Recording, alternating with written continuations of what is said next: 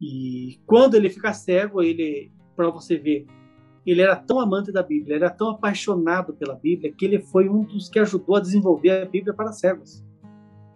E se você pega uma carta que a Sociedade Bíblica do Brasil e dos Estados Unidos escreve, eles fazem uma, uma carta homenageando que o Franciscon era verdadeiro amante da Bíblia. Que o último coisa, pedido que o Franciscon fez, o último pedido que ele fez, foi o seguinte: quando eu morrer, eu não quero flores, não quero coroa. Todo o dinheiro que foi para comprar flores ou coroa, que seja doado para a sociedade bíblica, para comprar Bíblia, para que o povo possa conhecer a palavra de Deus. Esse foi o último desejo dele. Pois é, ele tem uma grande então, decepção ele... hoje em dia com a congregação. Então, sim, veja que ele teve as suas falhas, teve as suas limitações por ser homem, mas teve suas virtudes também. Ele teve seus altos e baixos.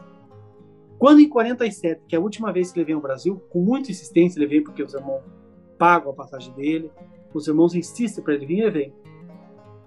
Era para ele ter vindo antes, mas por conta da guerra não deu, teve um atrapalho da guerra, tal, ele não pôde vir. E aí ele já envelheceu, já adoeceu também. E aí ele vem então na última viagem, em 47. E nessa viagem, o propósito deles era estabelecer a escola bíblica no Brasil. A Rosina, ela vem com essa missão. Simplesmente eles deram uma portada na cara da irmã e não, não vamos aceitar. Ele foi bem, bem desapontado com, com a obra do Brasil.